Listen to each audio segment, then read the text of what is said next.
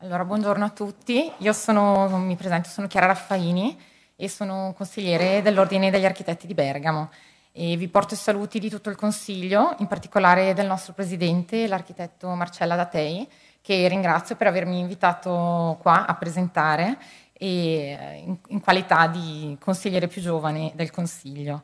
E, ehm, con molto piacere do il benvenuto a un nostro collega, l'architetto Alfonso Femia, dello studio 5 più 1 AA, che è uno studio che ha sede eh, a Genova, ma anche a Milano e a Parigi, quindi è uno studio riconosciuuto anche a livello internazionale. E vorrei ringraziare anche Italcementi che, che organizza questi incontri e queste attività che parlano di, approf- che, di approfondimenti dell'architettura e, e, e, che riesce a collaborare con diversi enti e, e, società, come ad esempio in questo caso con interni. Mm, mi fa piacere vedere molti studenti presenti questa mattina, anche perché spesso quando parliamo di questi argomenti, quando si parla del mondo dell'architettura, eh, siamo quasi sempre noi architetti, quindi parliamo fra di noi. Invece voi studenti sarete il futuro e potrete scegliere se proseguire in questa direzione, quindi iscrivervi ad architettura piuttosto che design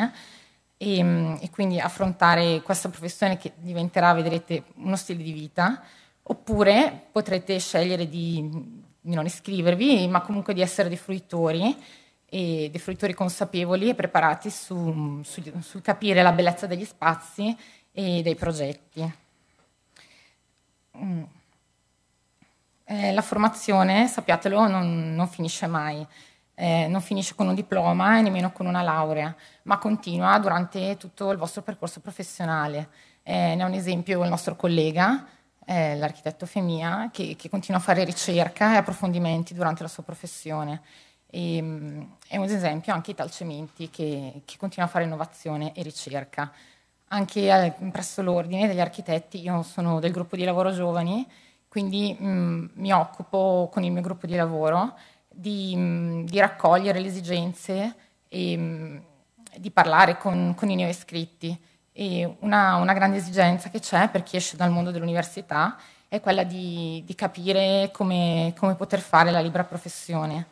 E per questo stiamo, ogni anno organizziamo degli incontri. Uh, quest'anno stiamo, questo ciclo di incontri si chiama Architettura Backstage, dove portiamo dei colleghi, mm, colleghi architetti ma non solo, anche ingegneri, gli stessi committenti dei progetti, li portiamo all'ordine e li facciamo parlare di, di progetti d'architettura in modo molto interattivo, quindi condividendo le loro esperienze e, eh, acquisite tutti, negli anni di lavoro e mh, mm, tutte le conoscenze che, che hanno.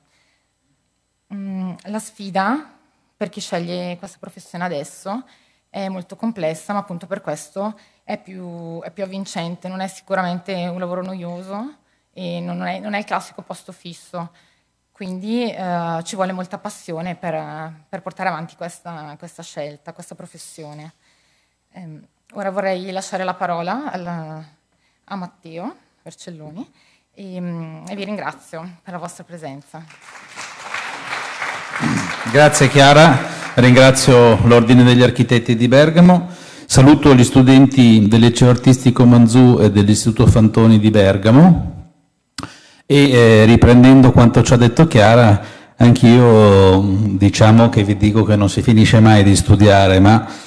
che l'importante è essere sempre curiosi nella vostra vita e essere curiosi di tutto. Allora, oggi eh, eh, presentiamo Alfonso Femia, un amico, eh, siamo alla seconda conferenza del quinto ciclo che Interni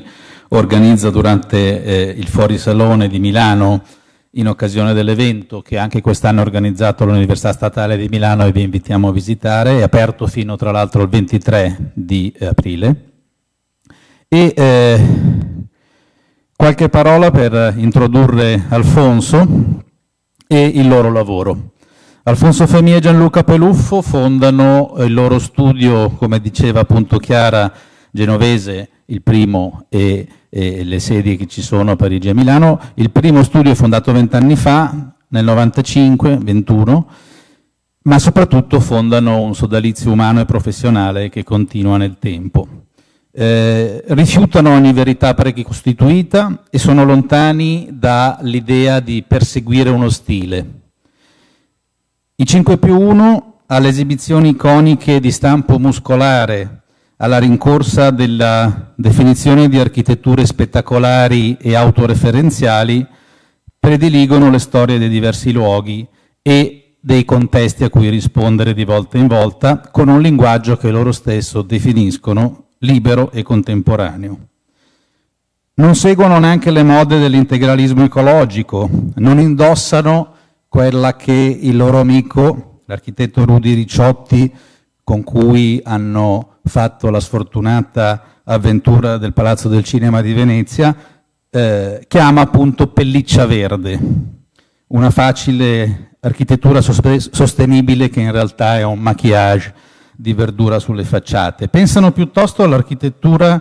come strumento per raggiungere la conoscenza del reale, perché, come loro stessi dicono, il dovere dell'architettura è di non rinunciare a immaginare un futuro migliore. L'idea di un sommergibile che potete vedere nel loro sito, che è una specie di icona, di un simbolo, è, è l'idea di uno spazio silenzioso che avanza sotto il filo dell'acqua, lontano dal rumore. E questo simbolo dello studio è in realtà una, una metafora, una sintesi di un modo di procedere, dove il progetto di architettura è appunto frutto di una meditazione lenta, di un percorso da costruire ogni volta, che porta a soluzioni specifiche, declinate luogo per luogo, nei diversi contesti urbani e nei diversi paesaggi incontrati nelle occasioni di progetto. Sono degli outsider, secondo me, della scena italiana e internazionale.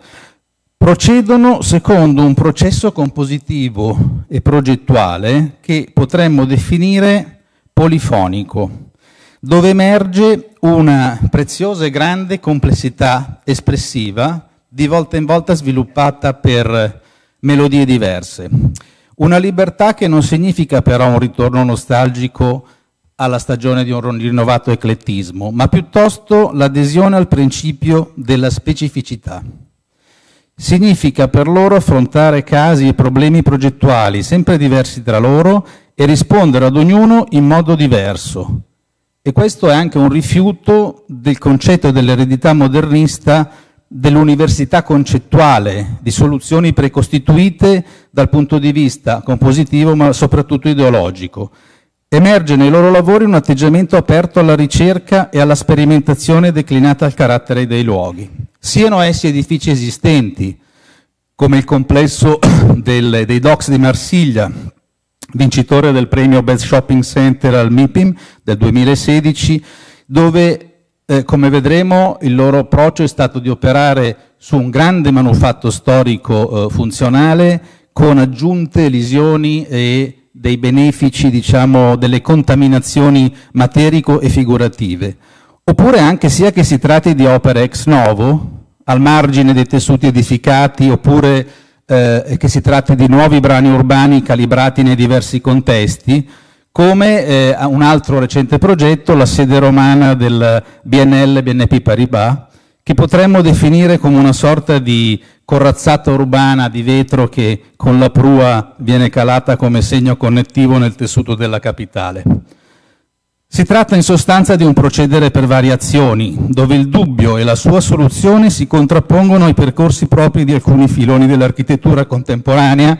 che sono appunto quelli della decontestualizzazione, della propensione alla a spettacolarizzazione iconica dell'edificio che rimane eh, compiuto in sé a prescindere dal contesto o dell'esaltazione dello stile linguistico. Tutto questo è sostituito dai 5 più 1 da alcuni temi guida che mi preme eh, elencare brevemente e che servono a raggruppare e a unire tra loro le diverse opere costruite. Questi principi sono la generosità, cioè la condivisione e pensare che ogni architettura è pubblica in sé, il corpo, rapportarsi all'esistente con la propensione al dialogo e al confronto evitando il monologo e l'autismo, e infine la meraviglia, lo stupore, più che esaltazione della soluzione formale, uno sforzo di ritornare a vedere la realtà e a svelarne il senso attraverso la sua conoscenza. Alfonso Femia, diritto alla materia.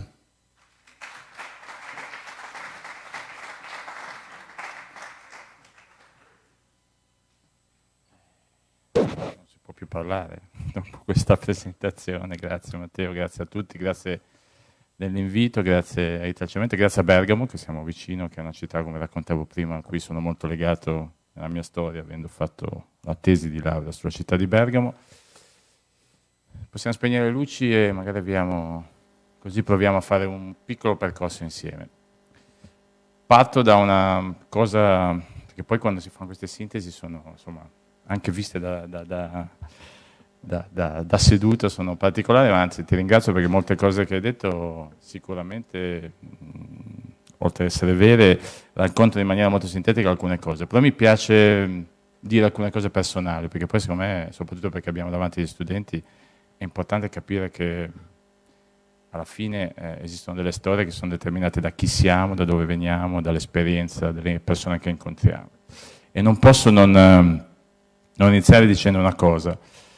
iniziare una cosa più recente. Due anni fa, in un momento storico molto particolare come quello contemporaneo, in cui viviamo, come si è visto anche da questi primi minuti, eh, estremamente connessi, estremamente in grande comunicazione, in realtà ritengo e riteniamo che questa connessione continua a essere, questa grande comunicazione, a lavorare sulla superficie. Due anni fa, in una conferenza a Hong Kong,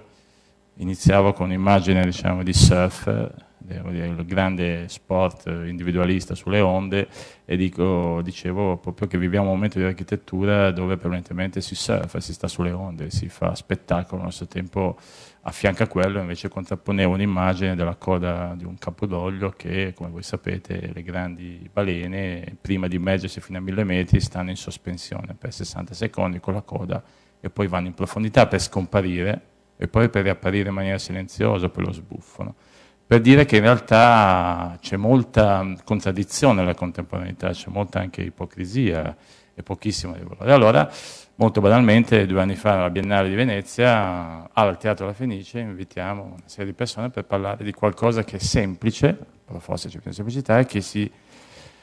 esemplificava in questo pamphlet, che era il dialogo come strumento di progetto, ma che partiva in realtà dal retro della copertina, che era il progetto come strumento di dialogo, che non vuol dire andare d'accordo, vuol dire tendere a un'unità, tendere a un confronto, tendere anche a guardarsi, e stabilire anche alcuni principi significativi. Poi il dialogo per noi veniva dialogato e declinato in uh, almeno cinque atti importanti che venivano e vengono tenuti insieme dalla, dalla, dal sesto, ovvero dal tema del viaggio su quale poi ritornerò. E questi cinque per noi dialoghi sono quelli che in qualche maniera, oggi più che mai negli ultimi anni, stiamo mettendo a fuoco, ma che ci hanno attraversato e che in qualche maniera ci hanno messo nelle condizioni di esplorare in condizioni particolari il rapporto con l'architettura, quindi il dialogo con la città, il dialogo con la storia, il dialogo con la materia, il dialogo con la committenza pubblico-privata che essa sia, il dialogo con la tecnologia. Cinque momenti che in qualche maniera sempre avvengono nell'esplorazione del progetto che, eh, come io spesso introduco ormai da otto anni quando presentiamo Concorsio in Francia, soprattutto inizio con l'idea che per noi il progetto è una storia e raccontare una storia c'è un tema di narrazione importante. E inizio anche con questa immagine, quasi ormai più di 12 anni fa, questo è faccia- il modello per la facciata del Palazzo del Ghiaccio di Milano, un edificio, l'ingresso del Palazzo del Ghiaccio abbastanza senza significato, senza grande qualità, dove il tema di quel piccolo frammento diciamo, edilizio, a fianco invece al Palazzo dei Frigoriferi, all'intervento della facciata rossa che abbiamo fatto, riconoscevo la difficoltà di qualsiasi strumento progettuale per poter risolvere quel problema lì. Allora abbiamo iniziato a lavorare con la materia, ovvero abbiamo coinvolto un artigiano, artista di Albissola, un amico, un ceramista, e proprio per prendere quasi distanza, quasi come difficoltà per affrontare il tema abbiamo cominciato a fare dei modelli di ceramica, ovvero cercare di capire come l'anima di un altro materiale, che è il materiale con cui l'uomo ha iniziato a fare delle cose, il materiale più antico della Terra, che poi si plasma con le mani, che quindi automaticamente crea un'empatia diversa, poteva in qualche maniera rimettere in discussione alcuni temi per avvicinarci. Perché? Perché la nostra storia è quella di aver studiato in un momento bello di Genova, io non sono genovese, sono calabrese, cresciuto in Liguria, ho incontrato Genova studiando all'università, l'ho amata in un momento e la amo tuttora avendo la scelta, in un momento in cui la città non era quella che poi è ritornata a essere dal 92 in poi, ma siamo cresciuti attraverso una serie di, di incontri all'università in cui siamo cresciuti più attraverso la teoria del dubbio, come veniva detto prima anche la teoria della certezza, dove l'architettura è proprio pensato come un avanzamento per domande, per azione e reazione, per dubbi, soprattutto perché amanti di città e territorio, forse dopo diversi anni mi rendo conto che la vera maestra, il vero punto di riferimento per noi è Genova. Genova, citando il super citato Calvino, forse è la nostra città invisibile che ci portiamo dietro, perché Genova è quella città straordinaria che entra direttamente senza soluzione di continuità l'infrastruttura, il paesaggio, la città, ci si cade dentro, dentro una città che è lunga nel suo cuore 5 km, 7, profonda un chilometro, stretta tra mare e montagne, dove questa esigenza di non avere superficie è stata sempre un meccanismo per inventare situazioni. Inventare situazioni che però non sono immediatamente visibili, perché dentro la città ci si deve cadere, ed è sempre stata una città estremamente coraggiosa, sbagliando pure, ammettendo il fatto che si potesse sbagliare, tale per cui in questa condizione estremamente particolare di non avere territorio, ha stratificato i diversi paesaggi. Oggi io racconto sempre in questa immagine, foto, queste foto sono di Ernesta Caviola, un'amica che da anni ci accompagna su certi momenti del progetto e della ricerca attraverso lo sguardo diciamo, del fotografo, e quando io per vent'anni ho insegnato, prima di insomma, dedicarmi un po' più alla Francia e purtroppo perdere un po' più il tempo per l'insegnamento, però raccontavo sempre agli studenti cos'è la quota zero diciamo, di rapporto all'architettura, il tema del rapporto. In una foto come questa qual è il rapporto della città della quota zero? La bacino di carenaggio, la linea portuale, la sopraelevata, la città ottocentesca, la città storica, la collina dietro. Tutto questo avviene in una maniera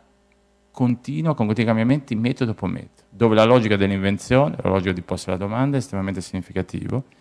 e dove ogni cosa cambia ruolo nella sua percezione, ovvero ogni volta è messa in scena un reale, un rapporto col territorio che non è scontato. E allora basta salire di quota e il rapporto del teatro di Aldo Rossi, che ha una sua logica ottocentesca nella piazza principale, cambia rapporto quando si sale di pochi centinaia di metri verso l'alto. Allora, in questo contesto straordinario, dove succede qualcos'altro di molto importante, ovvero dove il rapporto vero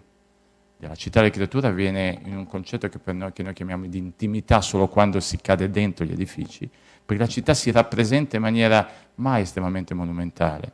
spesso attraverso anche grandi capacità genovesi. Voi dovete sapere che Genova, lo dico da genovese, quindi non sono fazioso, però Genova è quella città che per secoli è stata la, la banca d'Europa, è la città che così piccola dava i finanziamenti a, alla Spagna, alla, all'Inghilterra, alla Francia, e che aveva questa grande ambizione, grande città di famiglia, di essere al pari grado. E quindi mentre Luigi XV faceva Versailles, le grandi famiglie nobili di Genova costruiscono via Novissima, grandi palazzi che lavorano sulla sezione della facciata, dove il modo di rappresentarsi della via è di tipo pubblico, ma significativo, e all'interno dei palazzi, dove bisogna entrare dentro, dove bisogna entrare in contatto, dove bisogna andare in profondità, c'è un'idea di intimità, di disvelare lo spazio, l'ha portato col paesaggio straordinario. Allora questo ci ha portato sempre a dire che c'è un modo di rapportarsi col territorio, col paesaggio che non è mai scontato e non può difficilmente per noi stare dentro delle regole codificate. Dalle regole o dalle condizioni si può partire, ma poi bisogna mettersi in gioco attraverso alcuni dei termini che ha usato prima Mattia. Prima di parlare di tre progetti che provano recenti a raccontare alcuni dei temi più recenti dello studio, faccio una carrellata di un percorso. Quando parliamo di città-territorio, noi amiamo quelle città un po' come Bergamo, eh, quelle città tale per cui questa soluzione di rapporto col territorio o il paesaggio continuo. In un concorso importante, uno dei primi dove quando siamo stati invitati, quando abbiamo aperto lo studio a Parigi, è quello per lo stadio Velodrome per gli europei di quest'anno e dove uno dei temi molto forti, noi abbiamo spostato il baricentro del tema dallo stadio alla parte urbanistica al fatto che quest'asse importante che l'Uvon, un fiume che accompagna tutta questa parte qua di Marsiglia, dove a fianco abbiamo una cité radiosa del Corbusier, arriva fino al mare, doveva diventare un grande corridoio verde. La grande risposta del progetto voleva essere costruire un grande spazio pubblico da ridare dimensione territoriale al progetto e quindi costruire invece sull'asse urbano, quello che vedete dietro lo stadio davanti, la parte urbana. Non abbiamo vinto questo concorso, ma alcuni anni dopo, proprio per questa impostazione eh, urbana, ne vinciamo uno a fianco, che cerca di rimarcare questo aspetto, e adesso siamo invitati in un altro, sempre su quest'asse, dove si sta cercando sulla base di un errore che la città in qualche maniera poi ha confermato del fatto che l'impostazione strategica della città a livello territoriale è stata poi sbagliata. Questo lo dico perché? Perché i progetti, eh, il destino che un progetto venga realizzato non dipende solo da noi, ma la responsabilità che noi diamo al progetto, nel momento in cui viene pensato e proposto, deve essere qualcosa di importante. Quindi lo dico perché occorre metterci una passione, una volontà molto forte al progetto che non è solo strategia, che non è logica relativamente a un concorso, ma è la possibilità di costruire nel tempo un pensiero intorno a un'idea. E questo paradossalmente lo ritroviamo spostando di diverse migliaia di chilometri a sud in una esperienza particolare fatta alcuni anni fa, da alcuni anni da quando siamo in Francia abbiamo iniziato a esplorare come momenti particolari eh, tutto ciò che avviene in Nord Africa, dal Marocco, iniziando a lavorare a Tangeri, città straordinaria, prima città diciamo, di collegamento con l'Europa, e poi in Algeria da alcuni anni, paese che io ho cominciato a conoscere proprio grazie a questa esperienza, paese straordinario, con città straordinarie, fondate dai romani poi ben sviluppate dai francesi e con condizioni anche molto particolari che non esistono più in Europa. C'è un mondo molto vicino a noi che ha dei temi che noi non abbiamo più. Come costruire una città di fondazione nel deserto rosso di Adrar, dove c'è un vento a 50 gradi che va a 150 km orari e che dove normalmente tutte queste basi vengono concepite come grandi roccaforti militari, quindi con poca impostazione. E dove noi invece ricostruiamo una logica fondativa basata sulla natura, un grande quadrato dove ha un filtro di muri a altezza differente, con filtri di filare di alberature differenti che trattengono la sabbia, costruiscono le dune, per poi avere un'impostazione centrale dove i sistemi collettivi degli spazi vengono messi come il decumano principale e la parte invece privata, la parte più intima, si struttura con poi dei giardini sull'altro asse, creando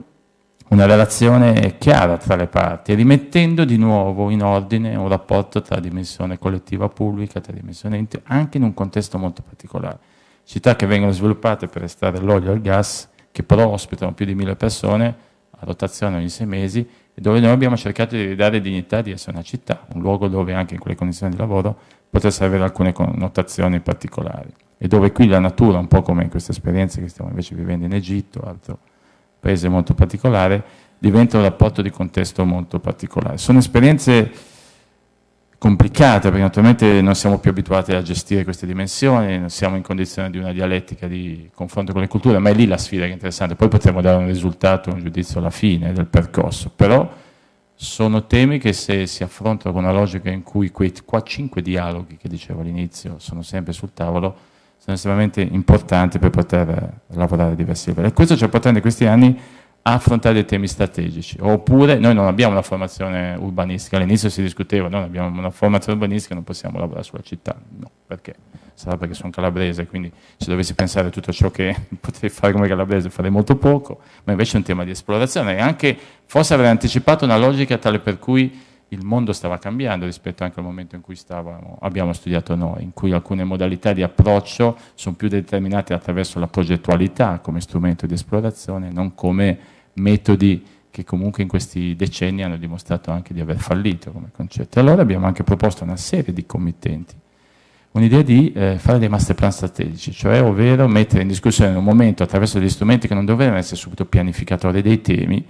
l'abbiamo fatta a Istanbul in questo progetto, ma soprattutto a Vélizy, una città particolare al nord di Parigi, che è nata per essere espressione classica del concetto di zonizzazione, perché la città ha la zona completamente residenziale, la zona degli uffici e il più grande centro commerciale di Parigi. E dove lì l'arrivo di un nuovo tram che si lega alla, alla nuova struttura del Grand Paris poteva essere un'occasione per eh, rompere questo sistema qua. E noi l'abbiamo pensato creando un sistema completamente asimmetrico che lungo il, tramway costruiva delle, degli elementi trasversali dove all'interno di quest'asse, creando automaticamente con la posizione di questi edifici, eh, delle relazioni di spazi pubblici e di funzioni tipo collettivo, università, centri eh, museali, eh, residenze per studenti, quindi automaticamente creare una nuova spina dorsale capace di uscire da questo sistema l'uso del master plan strategico ha portato a fare in modo che la pianificazione successiva prendesse alcuni di questi elementi e li facesse propri. Quindi si è deciso per esempio che 10 edifici che non avevano senso o era più costoso recuperare venivano demoliti per poter ricostruire un sistema di spazi pubblici e poi invece fare un edificio con questa nuova disposizione planimetrica, elementi che non abbiamo fatto noi, che diventavano un dispositivo per l'amministrazione.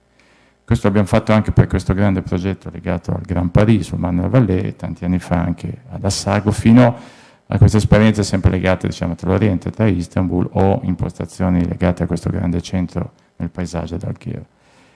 L'esempio più forte è stato aver eh, studiato questo per la città di Palermo, avendo semplicemente colto un'attenzione. No? C'è sempre questa dinamica di discussione sulla città che poi spesso non porta a niente e molto banalmente noi avevamo fatto un'osservazione quando siamo stati chiamati per riflettere questo, individuare sulla mappa della città sette aree di proprietà comunale della città e provare a studiare come queste sette aree messe a sistema in un'unica strategia che poteva rimettere a sistema la città potevano diventare delle occasioni tematiche per avviare una procedura che immette il dialogo pubblico-privato, ovvero dei project financing. La visione contemporanea di queste sette aree dimostrava una potenzialità straordinaria nell'attività e anche un'interfaccia forte con la città. Siamo al paese in cui presentiamo questo al Teatro Massimo, il giorno dopo la, la Regione fa una legge speciale per poter fare in modo che questo strumento diventi attivo, ma poi cambia la politica e anche gli strumenti diventano deboli. E in questa logica di città alcuni progetti sono più quasi come la volontà di costruire modalità di relazione con la città. L'estensione dello Yulm Milano completata l'anno scorso è più pensato come composizione diciamo, di edifici che automaticamente costruiscono un sistema urbano al suo interno, ma si relazionano verso l'esterno, per cui la relazione dei percorsi, la relazione di mettere in evidenza ogni funzione che caratterizza l'edificio, mette in scena reale, si relaziona anche con l'edificio a fianco che magari noi non abbiamo ma che è la realtà, quindi non volge le spalle a questo, ma diventa un dispositivo per creare una relazione paesaggistica, territoriale, funzionale, è un elemento che in qualche maniera non è autoreferenziale per se stesso, ma automaticamente a seconda del punto urbano con cui si relaziona costruisce dei modi dialettici di raccontarsi. Questa modalità per noi è estremamente importante per fare sì che ogni volta la risposta possa essere prevalentemente dialettica col luogo e dal luogo debba venire fuori. Noi provocatoriamente diciamo sempre diciamo, al nostro team, ai nostri ragazzi che lavorano con noi da molti anni, che in realtà il progetto esiste già lì, bisogna essere bravi a rivelarlo e quindi il tema è capire quali sono gli elementi empatici che il luogo lo dice e spesso cerchiamo di fare in modo di non avere l'ansia di trovare subito la soluzione, ma di ruotarci intorno. Questo ci ha portato, per esempio, in altri progetti, questo è un primo esperimento fatto vicino a Parigi, ma che poi abbiamo declinato in questa scuola vicino a Zugliano, dove eh, un piccolo comune di poche migliaia di persone decide che l'architettura diventa l'elemento per affermare l'unica sua vera opera che poteva fare attraverso la scuola. Voi sapete tutto il problema enorme delle, delle scuole in Italia e ogni governo dichiara che farà le 100 scuole in 100 giorni, poi... però qui c'è stata una situazione particolare che noi adesso stiamo sperimentando una situazione, ovvero di portare il concetto a sviluppare, per introdurre anche il tema della materia, una scuola completamente in legno. Il vantaggio del legno eh, non è tanto di diventare estremamente appassionati del legno che amo, ma nel capire due aspetti che possono risolvere una questione critica italiana. La progettazione in legno prevede che sia tutto previsto prima e assemblato come in, diciamo, in, laboratorio, in officina, una volta sviluppato il progetto non ci sono più problematiche di varianti in corso d'opera perché si arriva, si monta e quindi non ci sono problemi di sforare i tempi e di sforare il budget. Questa condizione è calzante per la problematica italiana, quasi noi l'abbiamo scritto in più volte ai diversi presidenti che si sono succeduti, compresa Renzi recentemente, sarebbe interessante non decidere che bisogna fare tutte le scuole in legno, ma che se ne facessero, potessero fare almeno le prime 20, per poter pensare che nell'arco di 18 mesi si possano avere 20 scuole veramente, uno come servizio, ma uno per far capire che anche attraverso la tecnologia si può provare a fare architettura. E qui il tema era raccontare un rapporto con il paesaggio, come avete visto, la, la copertura lavora eh, in questo contesto vicino a Vicenza, particolare, ma soprattutto introduce il tema poi della corte interna, della dimensione quasi agricola, dell'intimità dei bambini che vengono anche protetti, ma automaticamente questo modo di relazionarsi tra il gioco, tra l'allegoria, tra il modo anche spontaneo di costruzione, ha immediatamente fatto sì che le persone si identificassero con il luogo, si sentissero appartenere a quel luogo. L'architettura, come l'arte contemporanea negli ultimi anni, ha, questo, ha questa potenzialità di essere l'elemento, il medium di grande condivisione recentemente vi, esorto ad andarlo a visitare, eh, per la prima volta in Italia abbiamo una grande opera di Cristo sul lago di Iseo, e dove dichiaratamente lui stesso dopo anni dice che l'arte è qualcosa che si avvicina per la capacità emotiva di provare relazione, dove il tema lì di questa installazione di Cristo è quello di poter camminare sull'acqua, sentire il suono dell'acqua più che inventare altre questioni, quindi dialogare con il reale. Da lì abbiamo fatto diverse esperienze, questa la introduco perché in questo momento capirete anche da qui tutto un tema legata all'idea che l'architettura per noi eh, possa essere qualcosa che nel modo in cui venga concepita interagisca il più possibile in maniera variabile con il luogo, con la luce, con questa idea cangiante di non avere mai l'edificio che sia sempre uguale a se stesso in ogni ora del giorno, in ogni giorno della settimana, in ogni giorno diverso dell'anno, perché la, la materia, la modalità con cui si può costruire un edificio deve essere l'elemento più importante per interagire con la luce. E allora la torre orizzontale, questo concorso che noi abbiamo chiamato torre orizzontale semplicemente perché il concorso prevedeva due torri e noi però, chiedeva altri vincoli, doveva stare dentro un budget, doveva essere sostenibile, doveva essere realizzato in 18 mesi e noi sia perché a livello compositivo non credevamo che fosse corretto lì dire, competere anche a livello figurativo con l'albergo di, Ehm, di Perrault, la grande fiera di Fuxas e quindi noi abbiamo convinto, questo è uno dei primi progetti in Italia, come in Francia chiama concession costruzione, fatta con eh, candidatura dell'architetto e dell'impresa, ovvero è un progetto che doveva immediatamente dare la risposta anche tecnica e esecutiva. Abbiamo preso le due torri, le abbiamo coricate, nel, quando le due torri si toccano si è creato un grande foyer alto 50 metri che crea quel sistema di piegatura di essere uno e due allo stesso momento, ma è anche una risposta responsabile a un tema funzionale. Se c'è la funzione più difficile da gestire nel tempo è il tema degli uffici. E grazie al fatto che noi abbiamo fatto questa cosa qua, che abbiamo vinto, ai, al tempo del concorso le due torri dovevano essere per Fiera e per delle società affiliate a Fiera, poi Fiera ha avuto i problemi che ha avuto, oggi avendo avuto un edificio che poteva essere distribuito per piano in maniera unitaria o separato, dopo due anni sono riuscito ad affittarlo a Wind quindi c'è un tema anche di responsabilità di capire come possa essere utilizzata. Ma per noi c'era un tema molto semplice, ritrovo al tema del corpo. Noi abbiamo sempre detto che in questi anni c'è un forte cinismo e ipocrisia comunicativa sul tema della sostenibilità. Io da uomo del sud dico che la sostenibilità si traduce in buon senso, ovvero noi ci copriamo le spalle laddove arriva l'aria fredda e ci esponiamo al sole laddove possiamo scaldarci. Un edificio che è disposto in questo modo, che guarda verso nord e che deve proteggersi, è molto meglio che diventi monolitico con una grande facciata ventilata dove abbiamo disegnato questa lastra di fibrocemento particolare e diventa, si apre con quelle facciate che hanno tre tipologie di vetri particolari, laddove invece si può, può trarre beneficio. In questo modo otteniamo una specificità di risposta, un lavoro con la materia, un lavoro con il luogo, una risposta di budget, perché automaticamente 14.000 metri quadrati è sempre esclusivamente di vetro, per voler farle di vetro non avrebbe senso, o per il proprio ego non avrebbe significato, e automaticamente l'edificio funziona energeticamente già da solo, perché si protegge laddove deve proteggersi, si apre dove si deve proteggere. E automaticamente, credevamo, introduce dei rapporti compositivi e forti molto più importanti. E questa è la cosa che abbiamo raccontato in diverse situazioni, anche nei primi progetti, anche nel recupero, come quello dei frigoriferi milanesi, nel cercare di, come vede in questa immagine, di mettere in scena reale. Uno dei temi che per noi è estremamente importante è non tanto dire alle persone sui nostri progetti guardate il nostro progetto, ma guardate cosa può accadere dall'interno del nostro progetto, la visione di ciò che c'è all'esterno e quindi ai frigoriferi milanesi per la prima volta a 20 metri di altezza, 3.000 metri quadrati, da est, ost, ovest, nord e sud, sono completamente trasparenti, galleggiando per la prima volta all'interno diciamo, di un contesto milanese dove normalmente non succedeva quello. Questo è un progetto del 2001 e il committente,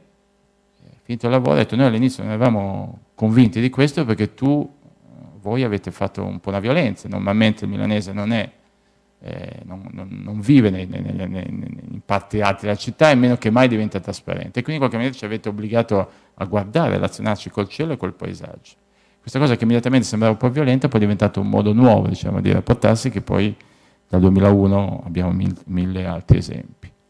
Mi soffermo su questo aspetto qua. Recentemente mi hanno chiesto di scrivere un testo su, hanno chiesto a 50 architetti in Francia, perché in Francia c'è questa logica della HQE, che è tutto il tema della sostenibilità che crea una serie di regole tale per cui, un po' come tutte le certificazioni in Italia e non solo, fa sì che automaticamente se noi dobbiamo sentire e semplicemente pedissequamente applicare questo, non serviamo, non serviamo. C'è già scritto che gli edifici devono avere degli schermi, che gli edifici devono avere un certo tipo di spessore, che non possiamo fare delle cose. Quindi se facciamo questo, e queste sono le regole, noi, voi, la vostra generazione,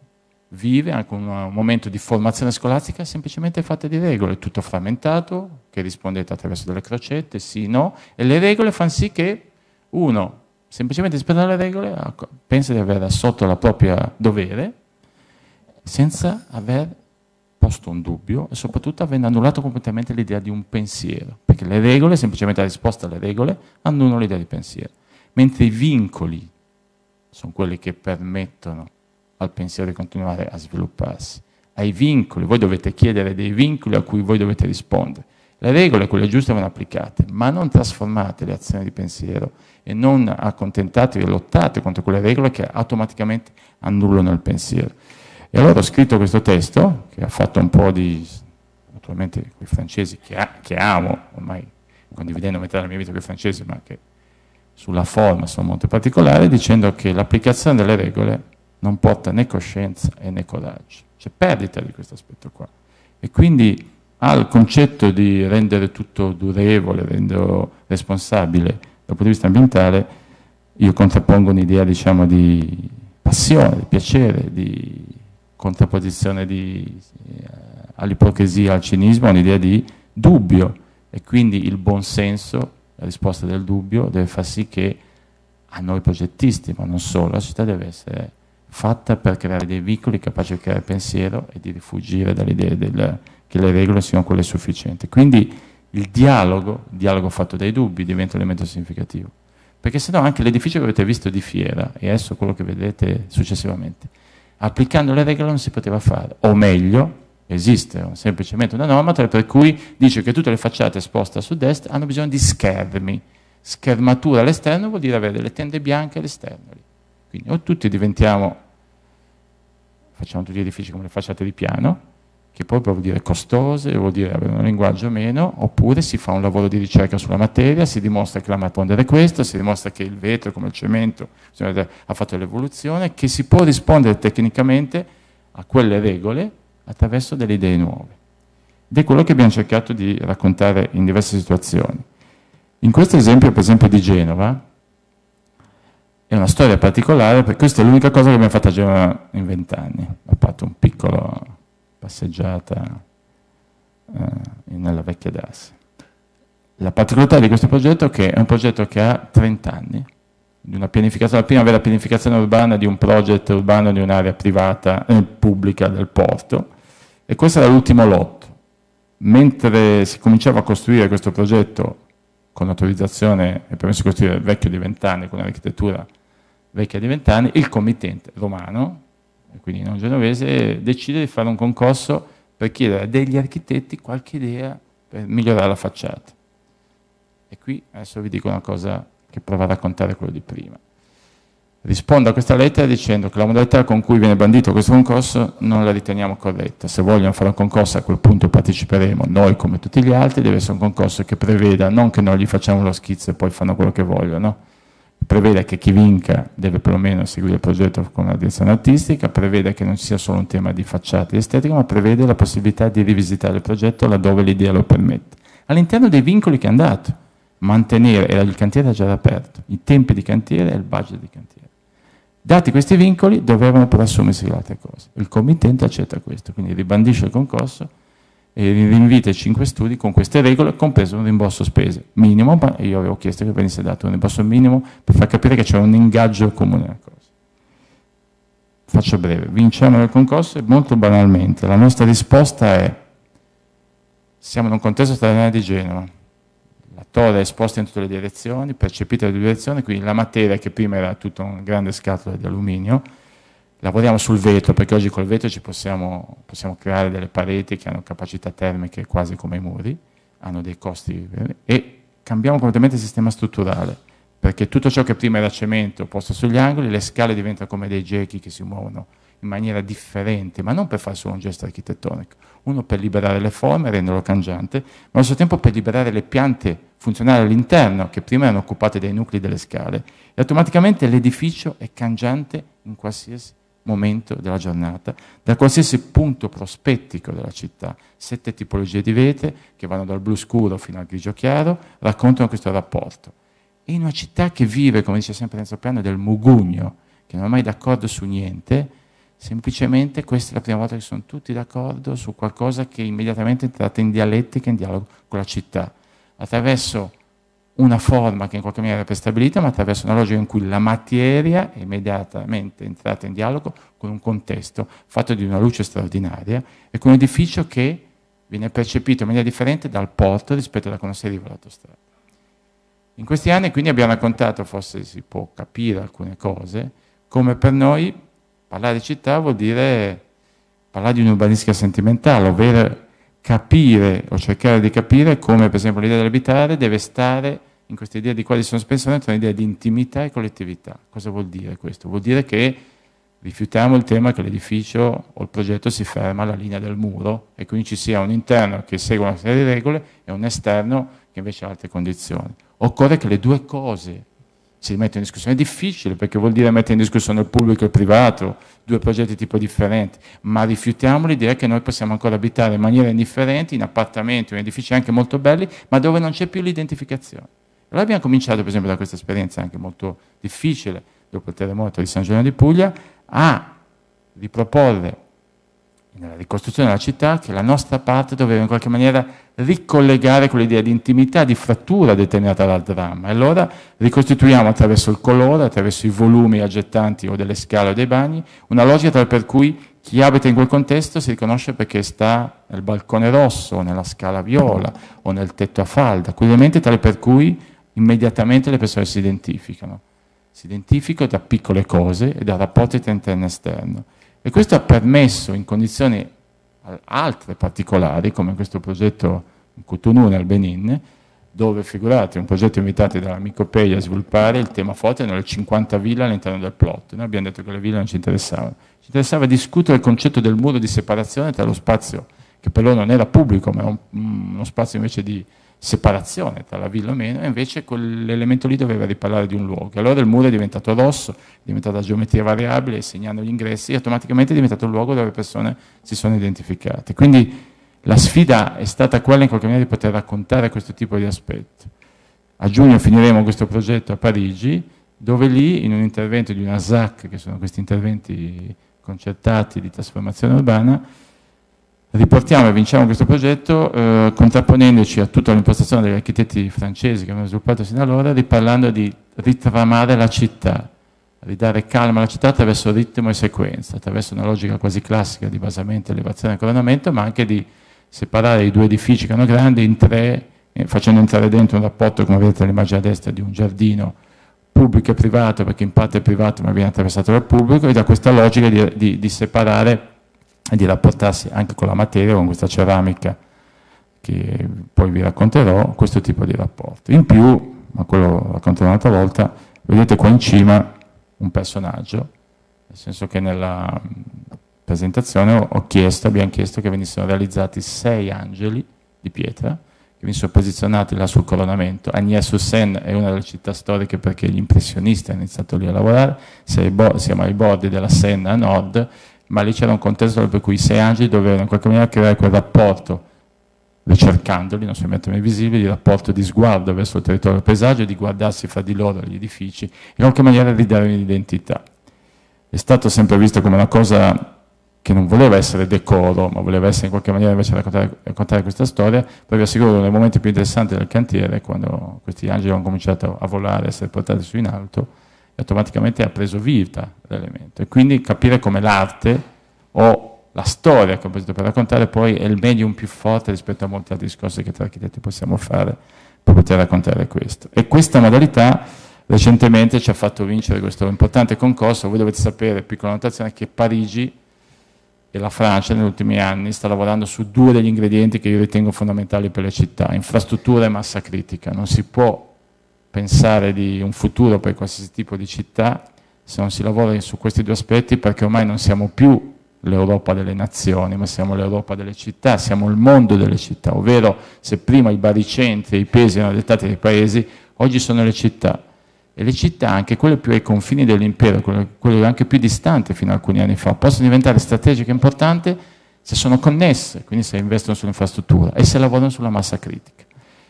Parigi sta facendo un grande intervento di, 180, di, una nuova linea che si chiama Grand Paris, che produrrà 186 stazioni, che allarga, non lavora più sulle direttrici esterne, allarga il sistema della metropolitana di una nuova cintura, connettendola poi al sistema metropolitano interno e poi da lì irrigandosi, automaticamente portando tutto ciò che oggi è a 15 km per un'ora di macchina a 10 minuti di metropolitana. Quindi ribaltando tutto, tutto ciò che oggi è distante diventa vicino, tutto ciò che oggi diventa impossibile perché magari devo abitare molto fuori diventa lì. E a fianco all'infrastruttura ogni stazione svilupperà un progetto connesso, come si chiama, ovvero luoghi dove c'è un tema di innovazione funzionale. E l'anno scorso hanno lanciato i primi due concorsi e noi abbiamo avuto la fortuna di vincere il primo a Cretail, dove uno dei temi forti per cui abbiamo vinto, non vi racconto in dettaglio questo, è proprio, come vedete in questo modello, la deformazione della soglia tra lo spazio pubblico e privato. Tutto ciò che immediatamente era marciapiede e poi edificio, noi l'abbiamo deformato creando una sequenza di piccole corti, grandi corti in realtà, dove gli accessi e modalità deformavano il rapporto col pubblico e ingaggiavano un rapporto differente tra collettivo e intimità privata. Questo facendo in modo che la stazione a quel punto diventa parte di questo sistema e non un elemento aggiunto. Nel dialogo con la storia naturalmente noi ci siamo confrontati tante volte con situazioni particolari, grandi e piccole, dalla prima Università a Savona, da questo che è il Museo del Giocattolo di Cormano, al Palazzo del Ghiaccio, a interventi anche molto piccoli come questo, un intervento da 300.000, da 400.000 euro, che aveva il significato in una piccola città di far capire come una città in Liguria aveva molto investito per dare lavoro, ma si era dimenticato di costruire uno spazio pubblico di relazione, uno spazio per i bambini. E fino all'esperienza importante del recupero dell'OGR per i 150 anni dell'Unità d'Italia, dove tutto il tema di mettere in scena gli spazi esterni come nuova conquista di spazi pubblici avviene attraverso un lavoro sulla materia, una ghiaia ceramizzata che in qualche maniera ricostruisce nei due, nella piazza rossa e nella, nel giardino verde la, la bandiera italiana, automaticamente diventa per almeno un anno un luogo che i torinesi rimettono alla loro mappa mentale e che ricostruiscono una modalità diciamo, di questo rapporto tra l'interno e l'esterno che raccontavo prima, come avviene questo nella Post du Louvre di Parigi, e che automaticamente ci ha portato a un rapporto con la materia. Adesso vi racconto velocemente tre progetti che provano, spero, a descrivere meglio quello che vi ho detto.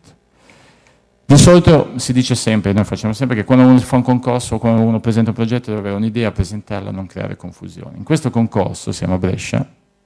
essendo il tema,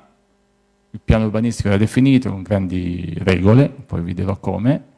e il committente ha chiesto a una serie di architetti di fare le proposte sulle facciate. Allora a quel punto per poter un per, una, raccontare i nostri dubbi proponiamo sette modalità, dicendo quello che vorreste, quello che normalmente si fa, quello che normalmente viene compreso, quello che normalmente succede, quello che lì a Brescia sta succedendo, quello che ci piacerebbe fare. Queste sette soluzioni, con nostro stupore, viene scelto quello che noi proponiamo. L'area ai limiti del centro storico, un'area industriale importante dove è stato fatto uno dei grandi concorsi del 2001 per il Museo del Lavoro che poi è stato realizzato e come tanti progetti che sono frammentati c'è un piano urbanistico che praticamente ha imposto tutto, altezze, geometrie, sagome, regole, ha imposto tutto. Quindi automaticamente il tema diventava buh, scegliere la facciata, il materiale, ma non era una questione puramente estetica, il tema era che non voleva dire dare una risposta all'abitare. E allora noi abbiamo cominciato a far capire, comprendere che comunque abbiamo letto le regole come vincoli e abbiamo cercato di capire se i vincoli potevano portare dei risultati. Allora abbiamo cominciato a dire, boh, separiamo concettualmente in tre parti, base, tronco e elevazione, facciamo in modo che in queste tre cose devono avvenire cose diverse, qui c'è una relazione diversa al suolo nella parte centrale in alto e facciamo in modo che questa declinazione possa creare delle modalità differenti di abitare, di rapportarsi verso l'esterno, di creare logge, terrazze o meno. E il morphing piano piano diventava questo, stando sempre dentro alcuni elementi, per andare a raccontare un progetto che da elemento monolitico potesse diventare un rapporto di stratificazione verticale verso strada, mettendo in gioco come i piani terra potevano diventare piani terra importanti, che aveva bisogno di una narrazione, ovvero l'uso della materia per poter raccontare come questo elemento monolitico poteva diventare un racconto in successione. E allora disegniamo, realizziamo una ricerca che da tempo facciamo con la ceramica, una ceramica diamantata che poi vedete che reagisce in maniera sempre eh, differente con la luce, un sistema di fibrocemento particolare e una nuova facciata in legno che potesse raccontare questa strategia. Ciò che all'esterno è stratificazione orizzontale, all'interno diventa sequenza verticale. E automaticamente è chiaro che uno possa identificarsi tipologicamente no? Nel, ed esce dal, dal monoblocco. E affermiamo che sia la materia l'elemento che possa determinare questo. E questo, molto brevemente, è ciò che è successo. Questo edificio qua ha questa materia estremamente particolare, ovvero noi abbiamo da anni lavorato sulla terza dimensione, perché la terza dimensione tecnicamente è molto difficile per la ceramica, perché il modo di cuocerla eh, crea dei grandi scompensi, ma è il sistema straordinario per scomporre la luce e fare in modo che l'edificio non sia mai uguale a se stesso. Quando utilizziamo il diamante grigio, grigio-argento, e quando presentiamo il progetto ci chiedono sempre di che colore sarà l'edificio e io ho difficoltà a dire di quale colore perché se abbiamo un albero verde vicino diventa verde, se il cielo azzurro tende a diventare blu, se il cielo grigio diventa grigio, se è molto alto si scompone col bianco perché la diamantatura porta a questo tipo di rapporto. E in più si crea quella condizione di identificazione col luogo, si crea quella condizione tale per cui gli elementi mettono in scena reale, chi abita in quel contesto vi si identifica, si relaziona col, col contesto, in più siamo in un contesto estremamente tecnologico, non è solo una ricerca sulla materia, ma anche una ricerca sulla posa. Come vedete, le percepite minimamente qua, che sono l'asta 60x60, ma è un primo sistema di applicazione con la posa aggiunto 0, ovvero la lastra viene affiancata secondo una tecnologia nuova, che ormai è diventata anche più competitiva a livello economico, e che permette di avere questa idea di monoliticità. E vedete come la sequenza urbana e il racconto tra la tipologia degli edifici, la stratificazione verticale e orizzontale il racconto della materia costruisce una storia, costruisce anche punti che potrebbero essere banali tra il rapporto interno e esterno e il punto urbano, estremamente importante. È quello che noi cerchiamo di chiamare come meraviglia stupore, cioè l'inatteso, in maniera semplice. Edifici residenziali costruiti a 1000 euro a metro quadrato attenzione, 1000 euro a metro quadrato, ovvero la ricerca e la responsabilità da parte dell'architetto è rimettere in circuito quei dialoghi che dicevo prima. Non è che l'abbiamo fatto a 1000 euro a metro quadrato perché non costano di più, ma perché la ricerca fatta e la messa di dialogo con le aziende, con l'impresa, con il committente, ha reso virtuoso quello che normalmente è un processo che non è virtuoso e che disperde energie ed economie. E quindi quattro sistemi di facciate completamente diverse, hanno lottato fino alla fine per trovare l'equilibrio. E la facciata in legno, che all'inizio a livello progettuale era fatta in un certo modo, l'impresa vince con un ribasso, doveva costare la metà, ripartiamo con la ricerca finché non riusciamo a trovare un sistema tale per cui alleggeriamo la sottostruttura e riesce a costare 160 euro al metro quadrato invece di 260. E costruiamo questo paesaggio tale per cui il rapporto con l'esterno, come vedete, è ricco dal punto di vista luminoso e di percezione, ma in più diamo risposte di tipo funzionale, tutto ciò che prima i tetti piani non erano valore, col sistema della facciata in legno, tutti i lastricati orizzontali diventano terrazze, solari, ma quindi la tecnologia, la scelta del materiale, il racconto della storia porta dei vantaggi anche economici, commerciali, di inventare degli spazi che prima erano spazi persi, fino a creare, vedete, una loggia passante dove la materia monolitica rifrange la luce in maniera differente ogni volta. Questo sta avvenendo in maniera ancora più importante alla scala della città. Alcuni anni fa vinciamo questo concorso per eh, la nuova sede della BNL, BNP Paribas a Roma, in un contesto molto particolare, siamo nel nodo infrastrutturale più importante, arriva l'alta velocità, i treni, la metropolitana. La scelta del committente è estremamente virtuosa, quasi non italiana, ovvero raggruppare sette sedi in un'unica sede da 3.500 persone, dove? Sullo snodo infrastrutturale portando per la prima volta la condizione in cui 3.500 persone si muoveranno con i mezzi pubblici e liberano degli edifici nel centro urbano. Questa condizione intelligente, virtuosa, imponeva dal nostro punto di vista del concorso che l'edificio potesse cogliere questa occasione. Difficile perché il lotto è estremamente piccolo, bisognava realizzare 70 70 mm quadrati su un'impronta da 5.000 metri quadrati, sopra l'infrastruttura dell'alta velocità, a fianco alla grande stazione di alta velocità, ovvero non c'era spazio. In più c'era il vincolo di questi torri d'acqua del Mazzoni che arrivano fino alla stazione Termini, che era un vincolo che era determinato dal vecchio piano urbanistico che prevedeva gli edifici trasversali e quindi lasciava questo cono visivo, che secondo noi dal punto di vista di destinare un'unica funzione lì non, non aveva senso, quindi abbiamo ribaltato il concetto, creando questo contesto all'inizio del concorso, creando una logica tale per cui l'edificio doveva lavorare con la dimensione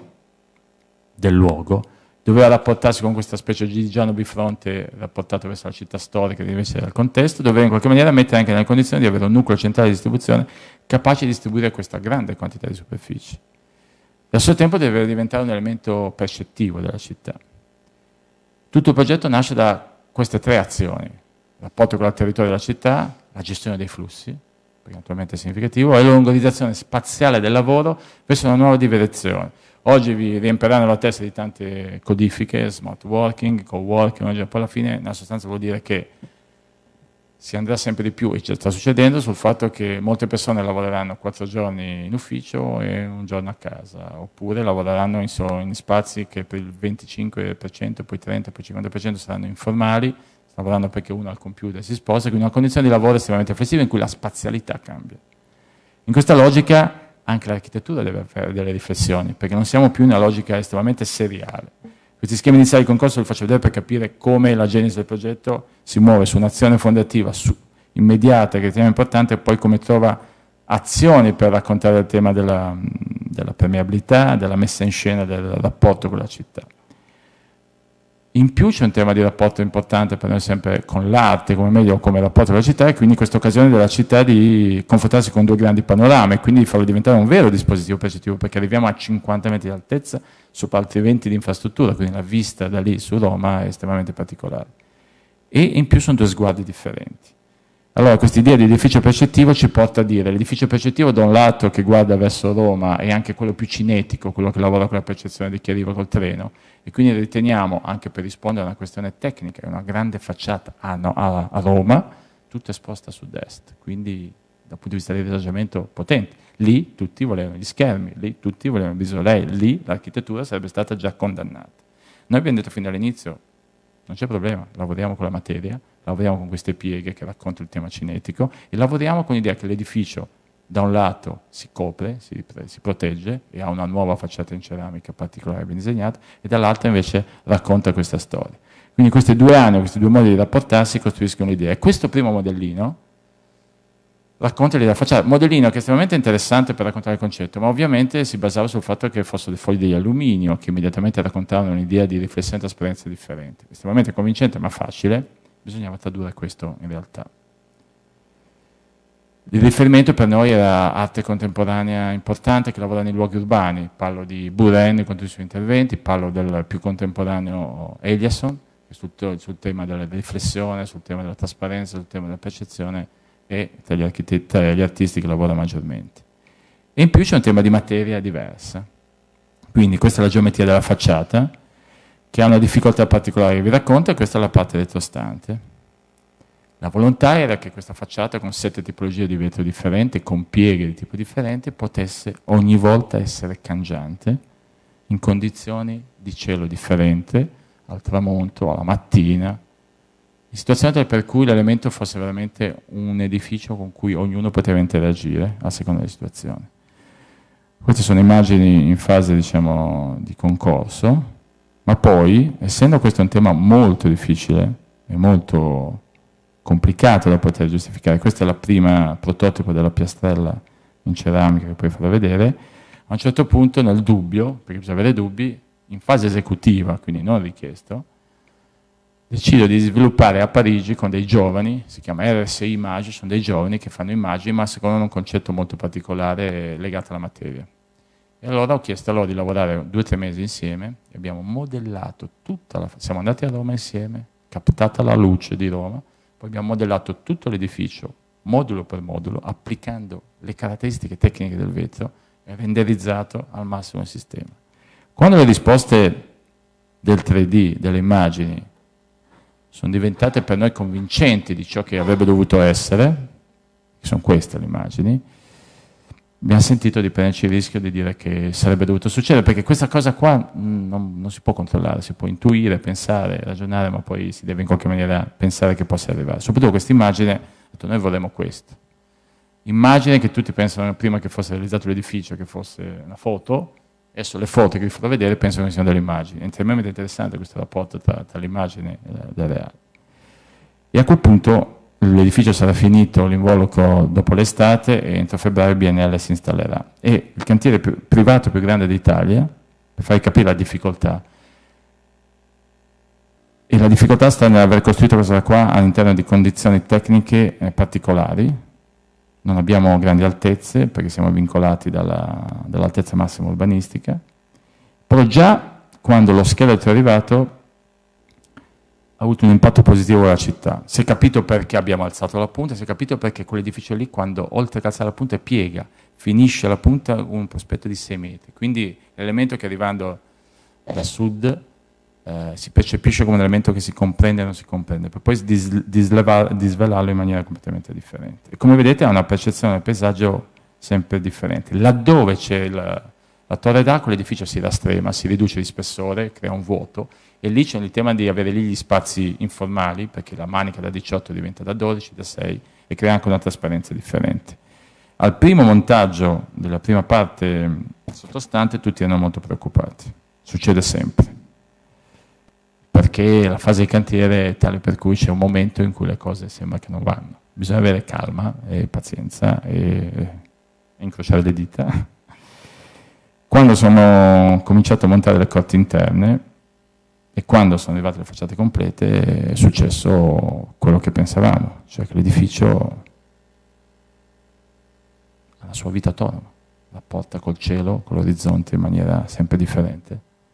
Quella logica di, delle pieghe si è compreso che non è un gesto puramente architettonico, ma un modo per poter rifrangere e raccontare la luce in maniera sempre differente, ne cambia la percezione in termini di dimensioni, ne cambia completamente il rapporto volumetrico e racconta ogni volta qualcosa che interagisce con qualcosa di estremamente variabile. Dalle 5, dalle 4 e mezza di sera, essendo esposti verso il tramonto della città, fino a quando si fa notte, non c'è un minuto in cui l'edificio è uguale a se stesso e paradossalmente una città molto complicata come Roma, non ci sono state critiche su questo qua, cosa che io mi sarei aspettato per mille motivi, la dimensione, l'importanza, siamo a Roma. Cioè l'architettura, questa facciata, empaticamente ha dialogato subito con le persone anche più normali perché ha raccontato una logica di questo tipo. L'edificio, come fiera, costruito a 1250 euro metro quadrati. Dico il prezzo del costo metro quadrato per far capire, perché è importante la realtà delle questioni, i vincoli Costruire questo tipo di edificio con questi vincoli strutturali impiantistici di facciata impone da parte dell'architetto, perché la colpa e la responsabilità sarà sempre dell'architetto se non ci si arriva, un certo tipo di approccio di lavoro in profondità, che ha bisogno di quello che dicevo all'inizio, del dialogo, del rapporto. La cosa molto difficile è che la, per fare quelle pieghe e affinché quelle pieghe non avessero, uno, avessero proprio l'idea di, di foglio piegato, la cellula entro il momento in maniera tecnica più importante, che normalmente viene fissata da solaio a solaio, e che immediatamente anch'io pensavo di farla così. Non funziona perché se studiamo il solaio ci portiamo fuori lo spessore solaio, quindi la piega avrebbe avuto uno scalino di 20 cm. E quindi a un certo punto quando tutti non riuscivano a trovare la soluzione abbiamo detto semplice,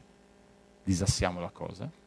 e la cellula non si fissa da solaio a solaio, ma si fissa in punto intermedio tra una e l'altra, scavallando il solaio. Quindi la piega è un sistema di sovrapposizione di cellule variabili, sempre, che piega nelle due dimensioni, verticale e orizzontale, e che è sostenuta eh, in maniera a sbalzo una con l'altra. Lì sta la difficoltà perché, la difficoltà, perché al di là strutturale che è più facile, perché da lì entra l'acqua. Il tema difficile è come da lì, attraverso la struttura, riportare fuori l'acqua. Mantenendo, come vedete, in realtà ci sono 5 cm di salto se andate vicino, ma 5 cm con questa dimensione percettivamente sono possibili. Li vedete qua. E questa è la grande facciata in ceramica. Abbiamo realizzato una nuova grande piastrella che abbiamo chiamato Snake, come la pelle di un serpente, che rende uno spazio assolutamente difficile. Il committente stesso non aveva capito la bellezza di questo spazio e oggi lo vuole rivalutare perché aveva pensato che è uno spazio funzionale tra le due stecche di edifici. Perché questa materia ha portato la luce giù a 50 metri laddove la luce non poteva arrivare perché un edificio è 12 metri attaccato all'altro, con grandi passerelle. La luce non arriva, è la materia che la porta giù. Chiudo con un racconto dei docs di Marsiglia. Non entro, non entro nel progetto, ma vi voglio raccontare una cosa di, di Marsiglia. Uno, come vinciamo il concorso. Committente JP Morgan, quindi committente anglosassone americano molto strutturato, e Constructa, un promotore indipendente francese ma molto innovativo. È un concorso per dialogo, confronto a 15, a 5, a 3, a 2 il, francese, il comitato francese, convinto anche dopo aver visto i frigorifici milanesi, propone la nostra scelta, l'americano dice sì, no, tutto bene, ma non hanno mai fatto niente in Francia, mai, quindi la cultura anglosassone, attenzione, non ti permette mai di fare una cosa se non l'hai già fatta, se non sei strutturato. E allora il francese, come è convinto, impone l'ultima regola, invita di nuovo i due studi, gli ultimi due studi rimasti, il sabato mattina a rivisitare i docs e da tre giorni di tempo per fare una proposta e presentarla poi a Parigi giovedì dopo. Perfetto. E qui mette in campo, in campo la generosità, la messa in gioco, la disponibilità, la logica francese come anglosassone, io ti do tanto se tu mi dai tanto. Noi non facciamo un lavoro che può essere misurato, tu mi dai questo, soprattutto nella fase creativa. Lì l'incontro era con una città, con un luogo straordinario. I docks di Marsiglia, dopo quelli di Londra, sono i più grandi docks del mondo. La città, quando è stato costruito nel 1850, è il terzo grande edificio in Francia. La città ha voluto a un certo punto spostare il Vieux-Port alla Joliette e costruire tutta una città portuale che fino al 95 non era mai parte della città. È la più grande opera di, opera di rigenerazione urbana europea, che ha inizio 25 anni fa che adesso sviluppa la seconda fase. Un contesto straordinario e il luogo, l'edificio particolare, imponeva normalmente un impegno importante. Giovedì dopo presentiamo il progetto, la strategia, il racconto che si basava su alcuni elementi estremamente importanti. L'edificio è troppo importante per poter eh, interagire in maniera semplice con esso. È un edificio che si costruisce secondo una cabola numerica, è lungo nella parte storica tranne l'hotel di direction, 365 metri, ha sette piani,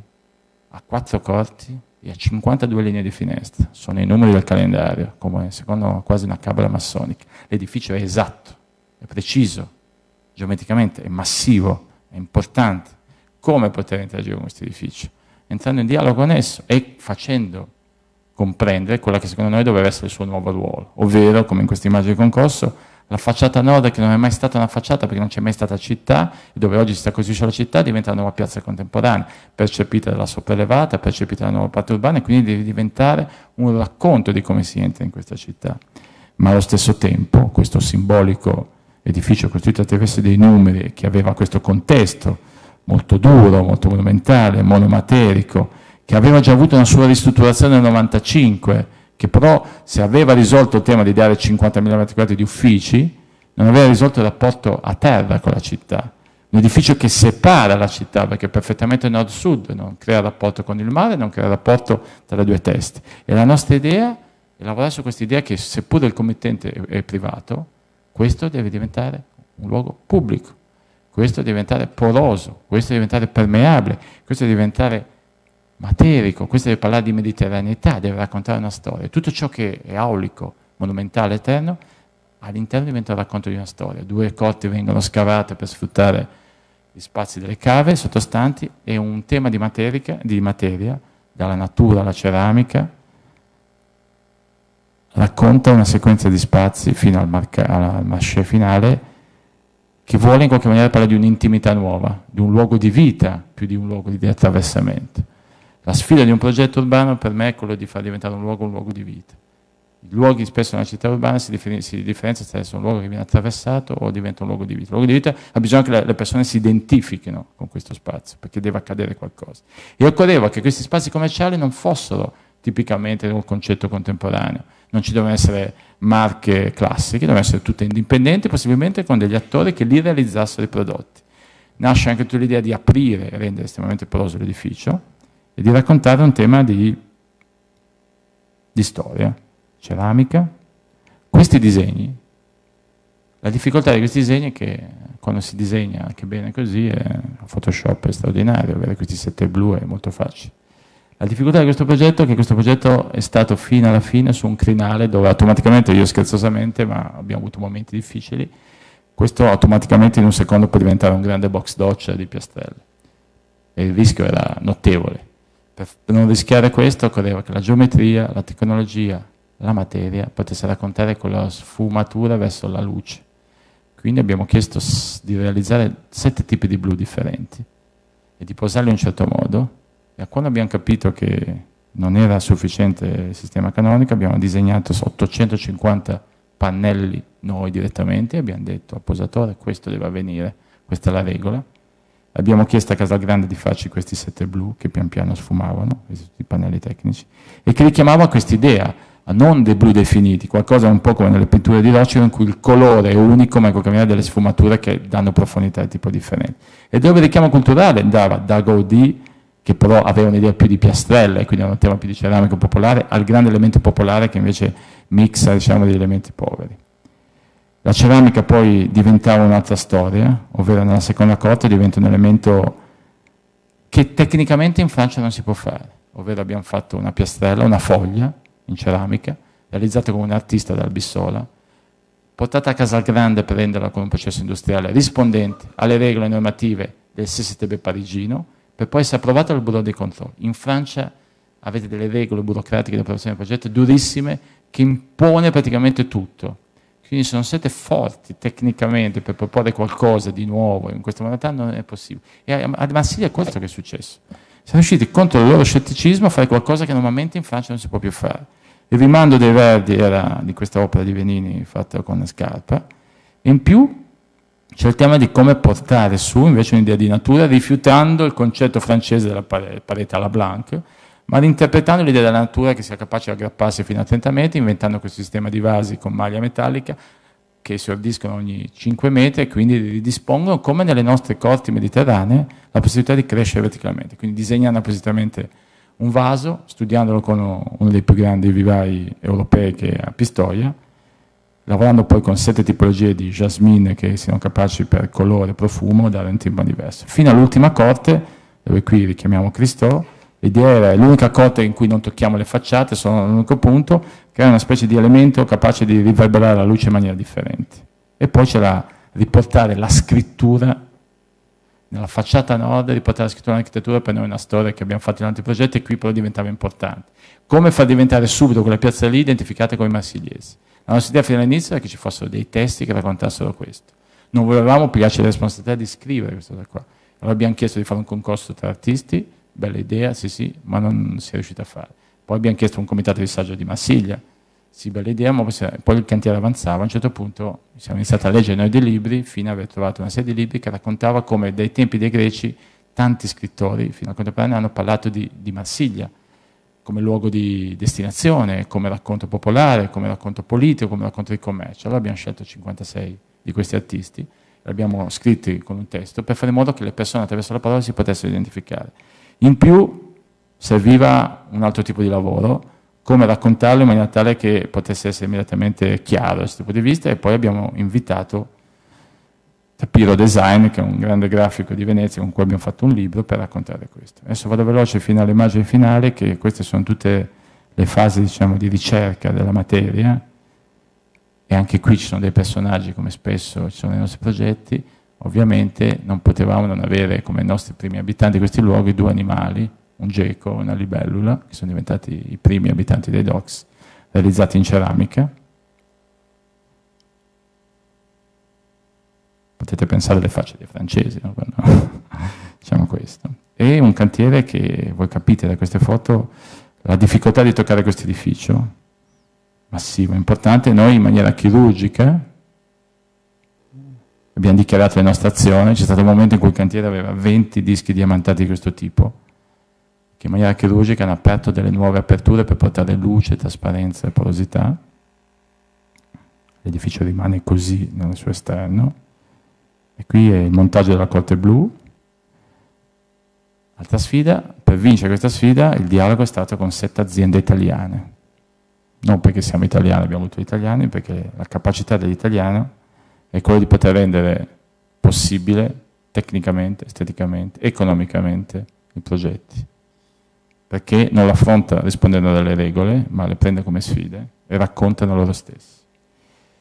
Crediamo che l'effetto doccia sia stato eliminato, visto che la Corte Blu, insieme alla facciata nord, è il posto dopo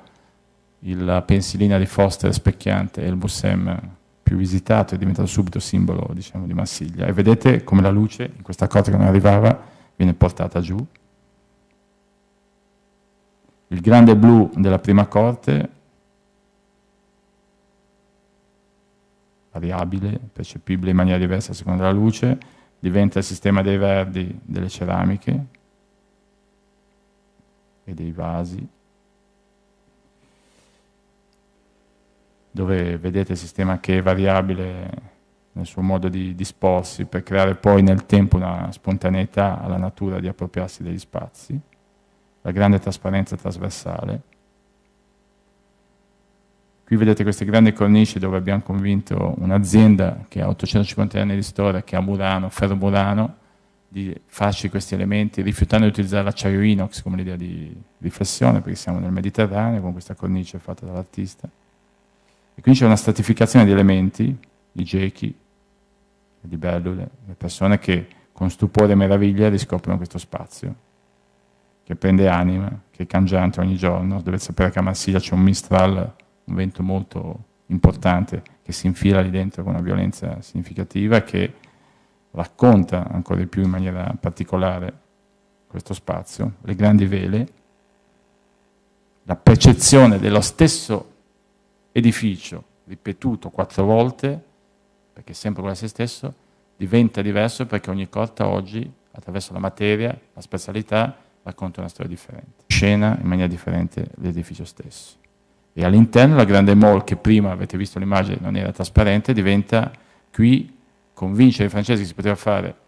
delle vetrate senza serramento, inizialmente ha detto che era impossibile, se no costava una follia. A quel punto ho chiamato uno di Bergamo, che non parla francese, l'ho portato in cantiere, FGF qui vicino, e ho detto,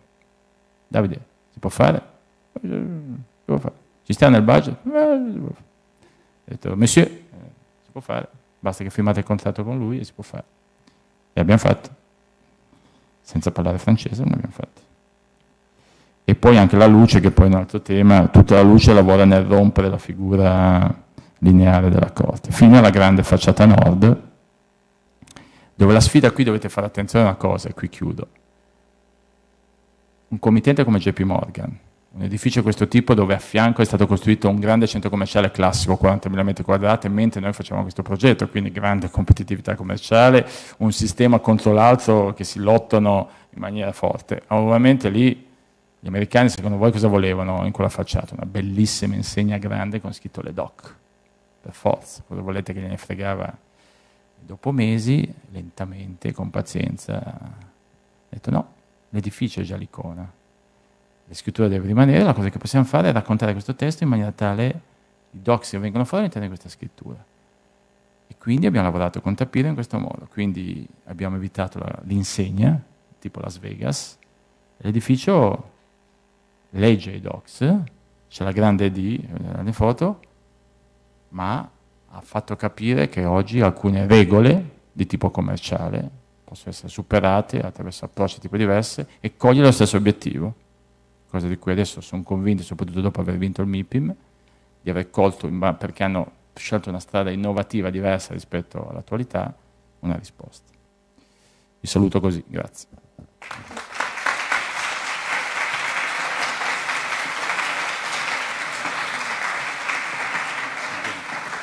Grazie Alfonso. Eh, mi sembra che questo racconto che ci ha fatto Alfonso sia stato molto stimolante e pieno di spunti. Ne riassumo, ne sintetizzo tre che sono secondo me importanti. Uno è appunto